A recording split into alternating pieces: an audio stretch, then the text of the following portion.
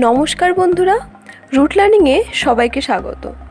এর আগের ভিডিওতে আমরা আলোচনা করেছিলাম ধ্বনি ও বর্ণ, ধ্বনির প্রকারভেদ, এছাড়াও স্বরভক্তি, বিপ্রকর্ষ এবং মধ্য স্বরাগম নিয়ে। আজ এই ভিডিওর মাধ্যমে আমরা জানতে পারব স্বরালোপ ও স্বরসঙ্গতি কী এছাড়া অপিনিহিতি অভিশ্রুতি, ধ্বনি বিপর্যাস এবং ব্যঞ্জন লোপ নিয়ে।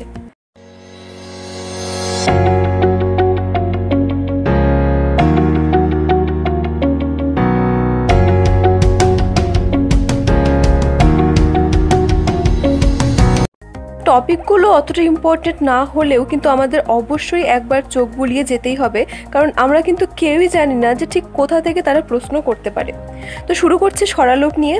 দেখো প্রথমে আগের ভিডিওতে বলেছিলাম স্বরাগম অর্থাৎ স্বরের আগমন হয়েছিল, সে শব্দের প্রথমে মাঝে বা শেষে যাই হোক যেখানে স্বরের আগমন হয়েছিল সেটাকে আমরা বলছি স্বরাগম স্বরলোপের ক্ষেত্রে তোমরা বুঝতেই পারছ যে কোনো একটা স্বরের লোপ বা বিলুপ্তি ঘটবে। সে একইভাবে উচ্চারণের সুবিধার জন্য যখন কোনো বর্ণকে সেটা শব্দের শুরুতে, মাঝে বা শেষে হোক না কেন, সেই বর্ণকে যখন আমরা বিলুপ্ত করে দিই বা উচ্চারিত করি না বা লুপ্ত হয়ে যায়, তখন তাকে আমরা স্বরালোপ বলে থাকি। উদাহরণের সাহায্যে ব্যাপারটা বোঝানোর চেষ্টা করছি। যেমন নারিকেল। নারিকেলের ক্ষেত্রে কিন্তু অনেকে আমরা উচ্চারণ করে থাকি নারকেল। এই নারকেল বলতে গেলে কিন্তু যে নারিকেলের ইটা, অর্থাৎ বৈষ্ণরায় হর্ষি, সেই হর্ষিটা কিন্তু বিলুপ্ত হয়ে যাচ্ছে, বিলুপ্ত হয়ে উচ্চারিত হচ্ছে হচ্ছে নারকেল। তাই এই ক্ষেত্রে নারিকেল থেকে যখন আমরা নারকেল বলছি, সেই ক্ষেত্রে কিন্তু ই এর স্বরালোপ ঘটছে। ঠিক তেমনভাবেই বলতে গেলে কিন্তু সুবর্ণ। সুবর্ণটাকে আমরা কিন্তু বলি স্বর্ণ। এই স্বর্ণ বলতে গেলেও কিন্তু একইভাবে স্বরের লোপ ঘটছে। এই যে আমি তোমাকে দুটো উদাহরণ দিলাম, দেখো এখানে লক্ষ্য করলে দেখতে পাবে যে এখানে কিন্তু মধ্য স্বরের লোপ ঘটলো। অর্থাৎ নারিকেলের ইটা মানে দু নম্বর যেটা বর্ণ ছিল, সেই বর্ণটার লোপ ঘটলো। যখন মাঝের কোনো শব্দের লোপ ঘটছে, তখন তাকে আমরা বলছি মধ্য স্বরালোপ এটা যদি আগে প্রথমেই অবস্থিত কোনো বর্ণ লোপ পেত, সেটাকে আমরা বলতাম আদি স্বরালোপ এবং শেষে অবস্থিত কোনো বর্ণ লোপ পেলে সেটাকে আমরা বলতাম অন্ত অন্তঃসরলোপ একটি উদাহরণ দিচ্ছি, যেমন রাতি।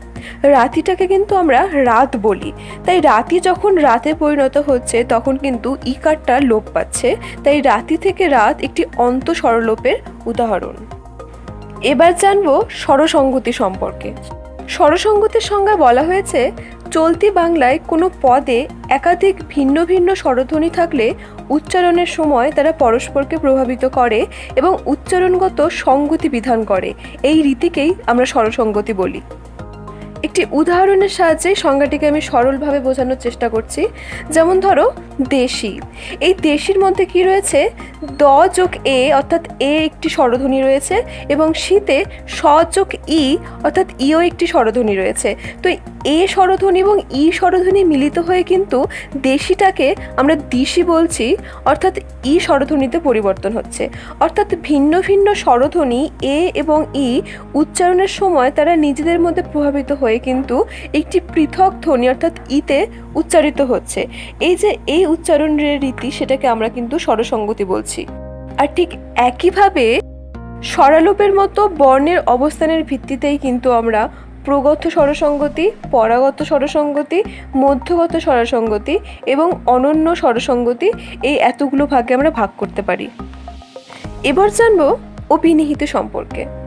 অপিনিহিতার কিছুই নয় অপিনিহিতের সংজ্ঞা বলা হয়েছে যে শব্দের মধ্যে ইকার বা উকারযুক্ত ব্যঞ্জন ধ্বনি থাকলে সেই ইকার বা উকারকে ব্যঞ্জন ধ্বনিটির অব্যবহতির আগে উচ্চারণ করার প্রবণতাকে অপিনিহিতি বলে।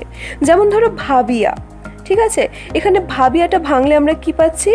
ভা যোগ বি যোগ আ। তাহলে এখানে ইকার বা উকারযুক্ত ব্যঞ্জন ধ্বনিটি কি? ভাবিয়ার মধ্যে ই। ভাবি, এই যে ইকারটা রয়েছে, এটিকে যখন আমরা বয়ের আগে উচ্চারণ করব, কারণ আমরা যখন ভাবিয়া বলছি, তখন কিন্তু বয়ের পরে ইটা উচ্চারণ হচ্ছে। কিন্তু এই যে ইটা যখন বয়ের আগে উচ্চারিত হবে, তখন সেটির অভিনীতি ঘটবে। সেখানে হলে কি হবে? ভাইব্বা। ঠিক আছে, দেখো, এখানে ভ যোগ আ, ব যোগ ই আর আ। সেখানে ভ যোগ আ, ই তারপরে তোমার বটা চলে আসছে। এটাকে আমরা বলছি অপিনিহিতি। আরেকটি উদাহরণ দিচ্ছি, যেমন আজি। আজির ক্ষেত্রে কিন্তু আজ ই মানে আজ উচ্চারণ হওয়ার পরে কিন্তু ইটা উচ্চারিত হচ্ছে। আর এই ইটাই যখন জয়ের আগে উচ্চারিত হবে, অর্থাৎ আইজ হবে, সেই আইজ উচ্চারিত হলে কিন্তু এটি অপিনিহিত হয়ে যাবে। তারপরে উকার অপিনিহিতটা কি? যেমন ধরো মাছুয়া, ঠিক আছে? মাছুয়ার ক্ষেত্রে উটা কি রয়েছে? ছয় হস্যু। এই উটাই যখন ছয়ের আগে উচ্চারিত হবে, তখন সেটি উ উধ্বনির অভিনিহিত হয়ে যাবে। যেমন মাউছুয়া। মাছুয়া থেকে যখন মাউছুয়া উচ্চারণ করব, তখন কিন্তু সেটি অপিনিহিতিতে পরিণত হবে। তোমাদের সুবিধার জন্য আরও দু একটি উদাহরণ দেওয়ার চেষ্টা করছি। যেমন ধরো কালি। কাল ই যখন আমরা উচ্চারণ করছি, তখন কিন্তু লয়ের পরে ইটা উচ্চারিত হচ্ছে।